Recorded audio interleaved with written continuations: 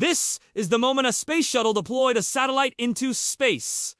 This is incredible. The space shuttle is like a big white bird, and it's carrying a satellite on its back. The satellite is like a little black box with a solar panel that's fully extended. It looks so tiny in comparison to the shuttle. They're about to separate. The satellite is being released and it's drifting away from the shuttle. The solar panel is still fully extended, but now it's starting to spin. It looks like a little helicopter blade or something. And now, the satellite is completely free of the shuttle. It's just floating in space with its solar panels still fully deployed. It's gonna be orbiting the Earth for at least six months. This is amazing. I love seeing these deployments because it's like watching a giant bird take flight. There's actually a camera inside the shuttle that's taking pictures of the entire process. Let's see what it saw. That's the view from inside the shuttle as the satellite was being released. You can see the separation distance getting bigger and bigger, and then you can see the satellite start to spin.